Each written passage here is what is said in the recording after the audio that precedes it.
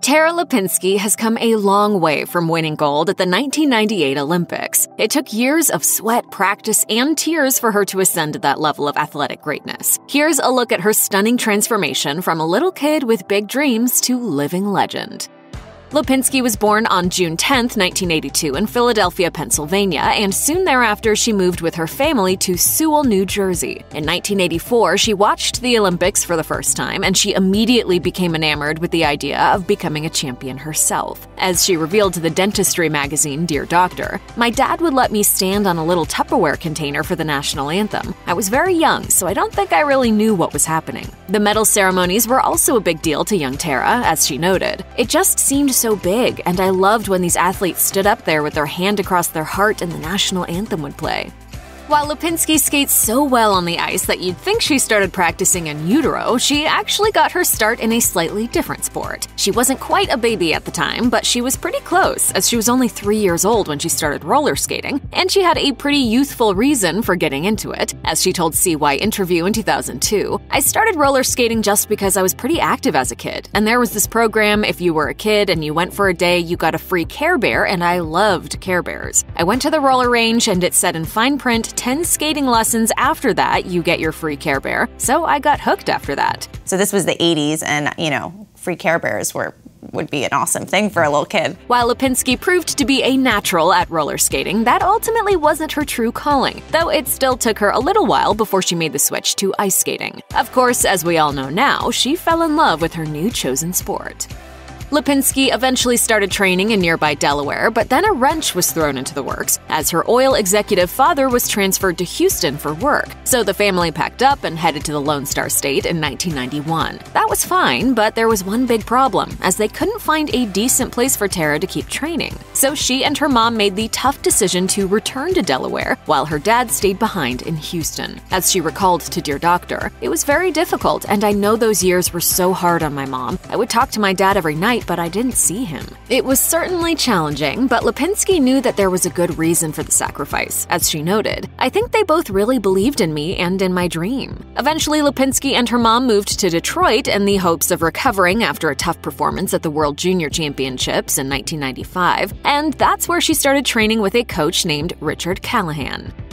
As Lipinski's profile in the ice skating world rose, so too did the scrutiny from the media. Sometimes that meant that she had to deal with cruelty from reporters who would comment on her diminutive size instead of her performance on the ice. As she told Cosmopolitan in 2018, I'd read really harsh headlines, words that hurt someone who was 13, 14, 15 years old. My parents would try to hide things like that from me, but the skating world is small and word gets around. Fortunately, Lipinski had fierce support from her parents who worked to protect her body image. As she explained, my coach would weigh other skaters, but my mom refused to let me be weighed. When she saw other skaters restricting their diets, she tried to hide it from me. Lipinski didn't develop any eating disorders, but she did pay close attention to what she was eating as she went through puberty. As she recalled, I kept eating what I was eating, and slowly I was gaining weight because I started to hit that time in my life. Did I have an eating disorder? No. Would you say I thought about my diet more than a normal normal person? Yes.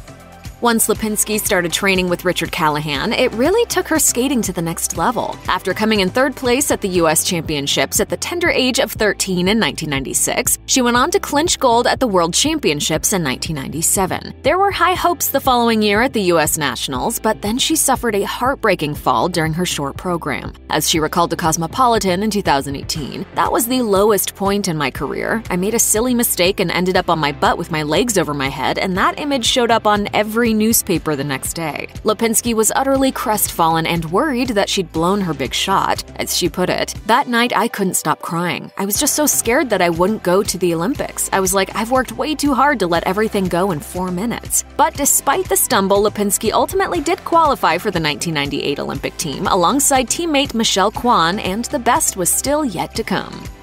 After years of big sacrifices, intense conditioning, and hours upon hours upon the ice, Tara Lipinski headed to the 1998 Winter Olympic Games in Nagano, Japan. She wasn't old enough to drink, vote, or even drive, but at only 15 years old, she beat out the competition and realized her lifelong aspiration of winning an Olympic gold medal. As she recalled to Sports Illustrated in 2018, it was such a surreal moment that it didn't feel real or like it happened because you work day in and day out and you're thinking about this one goal and then the clock goes from 11 to 11:01 and all of a sudden you have a title of being an Olympic champion. On that day, Lipinski became the youngest individual woman to ever win the top figure skating award at the Olympics. As she reminisced to Sports Illustrated, "It means a lot to be an Olympian. I'm obviously so grateful and feel so lucky I was able to achieve my dream of winning an Olympic gold medal. It really is so special to participate in an Olympics." Can't believe it's been 20 years since you, Yeah, you won, but congrats on all what, hap- what happened. After clinching the gold, Lipinski found herself at a crossroads. She dabbled in TV, appearing on such shows as Sabrina the Teenage Witch, Are You Afraid of the Dark, and Malcolm in the Middle. She also became a professional skater and toured with Stars on Ice. But she never returned to the Olympics, even though she was so young the first time she competed. There was a reason for that, as she had an injury that required hip surgery, as she explained to CY Interview in 2002. That was the reason why I turned professional. It was one of the reasons, because it would be impossible for me to keep going at the rate I was. I have a prolonged professional career now, which I'm so grateful for, but yeah, I deal with pain in and out every day.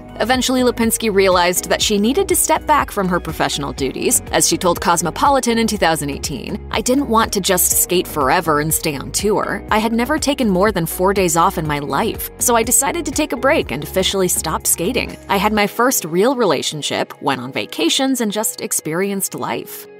After Lipinski spent a few years having fun and enjoying new experiences, she found herself ready to get back to work. But she worried that whatever she did next wouldn't compare to the high that figure skating brought her. As she told Cosmopolitan, I was scared I'd never find it again. Fortunately, though, Lipinski suspected that she might be able to find a new home for herself as a commentator. So in 2009, she offered her services to Ice Network. It proved to be just the place for her, and by 2012, she was working for NBC Sports and NBC Universal. As she put it to Cosmopolitan. I found my new high. There's just something about broadcast, especially live commentary, that's exhilarating. Having to articulate stories and thoughts on the fly is fun and exciting. You can't talk about Tara Lipinski without mentioning her work husband, best friend, and partner in crime, fellow figure skating alum, Johnny Weir. They were both aware of each other during their competitive years, but it wasn't until they ran into each other while commentating that they realized just how well they complemented each other. They ended up becoming so close that they eventually asked if they could broadcast together as a pair. Lipinski explained to GQ in 2018, It was just one of those instant connections, and we said, why aren't we doing this together? So we asked if we could. After getting the green light to team up, Lipinski and Weir quickly became broadcasting icons. By the 2014 Winter Olympics, they were friends for life. As Lipinski told GQ, on air and off air, we just started to bond. It's like a long lost soulmate that I met late in life. I can't imagine my life without him. Nowadays, Lipinski and Weir are quite possibly the most famous figure skating commentators working, and their fans simply can't get enough of them. Then we sat in the booth and I don't know what happened, but we try not to think about it. we just keep doing the same thing. While Johnny Weir may be Tara Lipinski's work husband, he's not her actual husband. He is, after all, openly gay and even more openly fabulous. But Lipinski isn't just lucky in friendship, she's also lucky in love, as she married sports producer Todd Kapostasy in 2017 after two years of dating. As she gushed to People magazine that year, it was the best day of my life. Obviously, winning an Olympic gold medal for my country in 1998 was a very proud moment for me, but nothing competes with finding someone you love to spend the rest of your life with. Lipinski and Kapostasy tied the knot on June 24, 2017, in Charleston, South Carolina. They said, I do under a giant canopy of hydrangeas and roses, which sounds just divine. Lipinski slayed in a hand embroidered strapless gown with a lace skirt designed by Reem Acra, along with a Laura Bashi detachable 20 foot tulle train. Weir was, of course, in attendance at the ceremony as he served as Lipinski's bridesman. Johnny has always been the perfect gentleman and he's always taken care of me. After the big day, Lipinski and Kapostasy took off on a seven week honeymoon around the world. According to Lipinski, it was a fairy tale come to life. I felt like I was living in the moment with all of my friends by my side and marrying the love of my life. It was the best day of my life. Tara Lipinski has accomplished a lot in her life, and she has plenty to be proud of. And with all her accomplishments, she's also had to learn how to be a role model, with plenty of aspiring skaters looking up to her as an example. As she confessed to CY Magazine back in 2002, it is weird to think of myself as changing skating or as a role model because I look up to so many different people. I do realize I'm a role model and totally flattered by it, and I really just try to be myself. I just try to be myself and, you know, do what my parents would be proud of me for doing, and hopefully, I am setting a good example. And Tara taught me to ice skate because that is her language of care. We'd have to say the past few decades have proven the success of Lipinski's approach, and there's still plenty of time for her to accomplish even more in her life, so we really can't wait to see what she tackles next. Check out one of our newest videos right here. Plus, even more list videos about your favorite stars are coming soon. Subscribe to our YouTube channel and hit the bell so you don't miss a single one.